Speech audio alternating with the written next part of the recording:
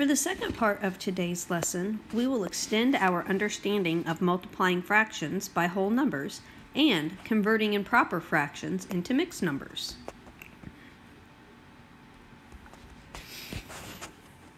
This is a continuation from today's math message story. The story says one lap around the outdoor track at Lucas's school is 5 eighths mile. How far would Lucas walk if he did three laps around the outdoor track? Remember, in the math message, they were talking about the indoor track at his school. Now they're talking about the one that's outside. And this track is much larger than the one that was inside, it sounds like. So the question they ask How far would Lucas walk if he did three laps around the outdoor track? We're talking three laps at 5 eighths of a mile for each lap.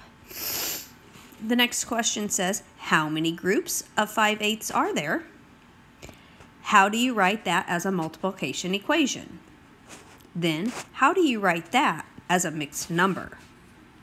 All right, so let's break it down. How many groups of 5 eighths are we talking about here?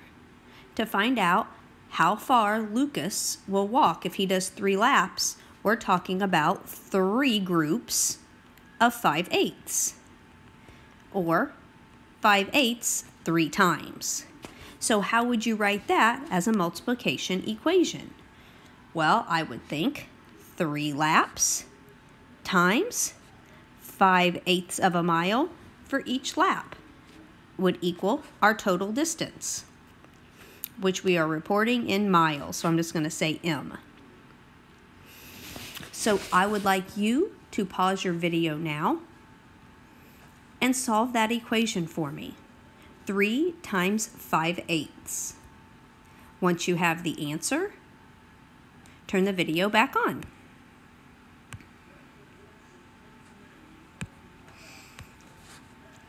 If you were solving 3 times 5 eighths, you probably put the 3 over 1, multiplied the numerators, then multiplied the denominators. Oops, not 18, just 8. Let me fix that. So now we have that he walked 15 eighths miles. Well, 15 eighths is an improper fraction. So how do we write 15 eighths as a mixed number? If you're not sure, ask yourself, how many times does 8 go into 15? Well, 1 8 is 8, and 2 eighths is 16, and that's more than 15. So 8 can only go into 15 one time. So I'm going to write down here 15 eighths is the same as one whole, and then how many left over? Or what's the difference between 8 and 15? So 8 can go into 15 one time with 7 left over, and the denominator stays 8.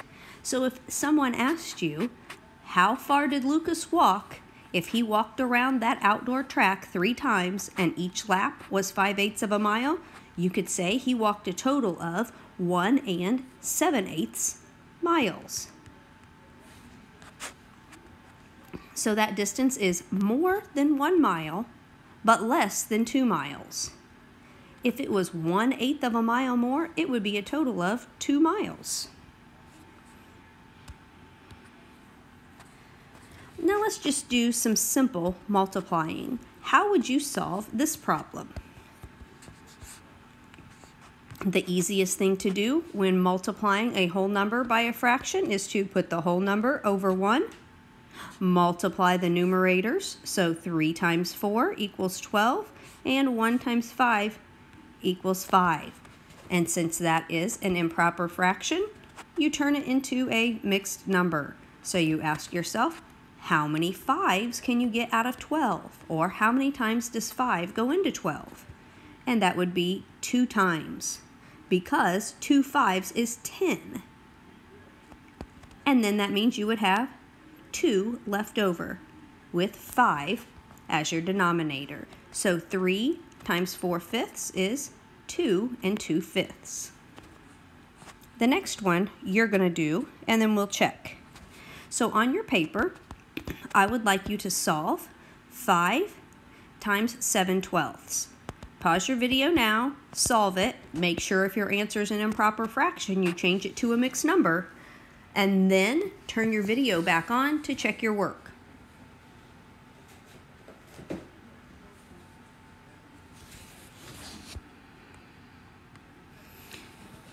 For this problem, I would have put my 5 over the 1, multiplied my numerators, so 5 times 7 is 35, multiplied my denominators, 1 times 12 is 12. So again, we have an improper fraction. Then you have to ask yourself, how many times does 12 go into 35?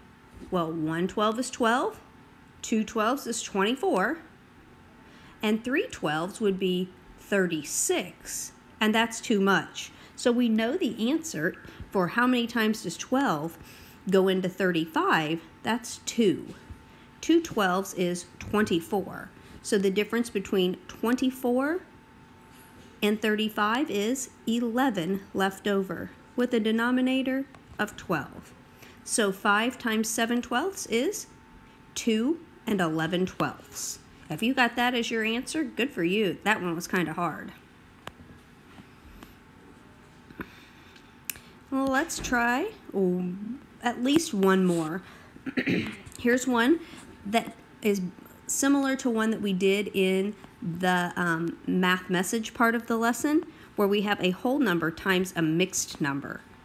Let's do this one together, at least part of it it's hard to take a whole number times a mixed number, so I'm going to suggest making that mixed number into an improper fraction. So you have to ask yourself or think about making a circle. That's supposed to be an arrow. 3 times 1, so you multiply on the bottom. 3 times 1 is 1. Then you keep going around your circle and you add on the numerator. So 3 times 1, sorry, is 3. Then you add on that numerator and make it 4. So your answer would be 4 thirds. So 1 third is the same as 4 thirds. You take 3 times your whole number, then that answer, add on your numerator. So the 1 and 1 third as a mixed number is 4 thirds. Then you can multiply it times your whole number.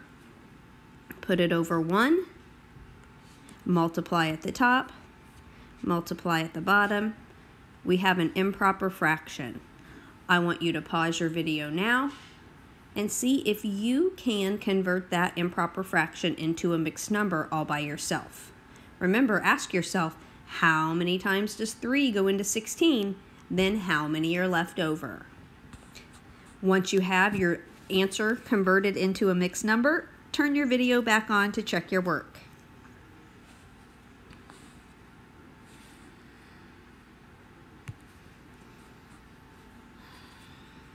When converting this answer, you should have said 3 goes into 16 five times because 3 times 5 is 15. Then you would have 1 left over and 3 stays the denominator. So 4 times 1 and 1 third equals 5 and 1 third.